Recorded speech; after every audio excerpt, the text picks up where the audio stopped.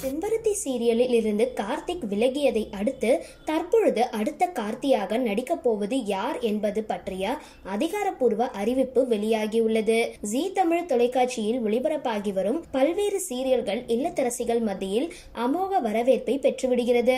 அந்த வகையில் மக்களிடையே அதிக ஆதரவும் அன்பும் பெற்ற சீரியல் ஜீ தமிழ் தொலைக்காட்சியில் ஒளிபரப்பாகும் செம்பருத்தி சீரியல் தான் இப்பொழுது இருக்கும் டாப் சீரியல்களில் செம்பருத்தி சீரியலிலும் ஒன்று.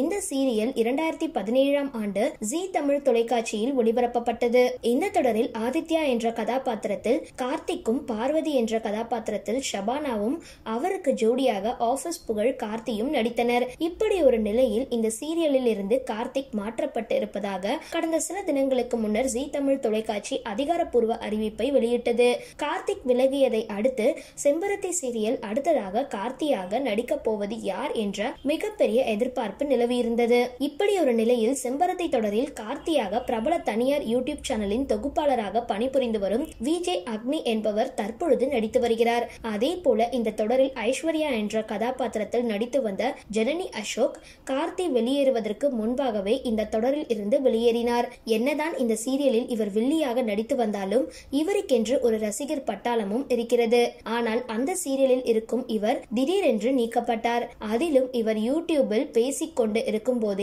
இவர் சீரியலில் இருந்து நீக்கப்பட்டதாக வந்த செய்தியை கேட்டு கதறி எழுதார். சமூக வலைதளத்தில் ஆக்டிவாக இருக்கும் இவர் அடிக்கடி புகைப்படங்களை பதிவிடுவது வழக்கம். அந்த வகையில் இவரும் ஷபானாவும் துளியும் மேக்கப் இல்லாமல் இருக்கும் புகைப்படம் ஒன்றை பதிவிட்டுள்ளனர். இந்த வீடியோ பிடிச்சிருந்தா லைக் பண்ணுங்க ஷேர் பண்ணுங்க. மேலும் இது மாதிரி வீடியோஸ்லாம் தெரிஞ்சுக்க மறக்காம பக்கா டிவியை சப்ஸ்கிரைப் பண்ணுங்க.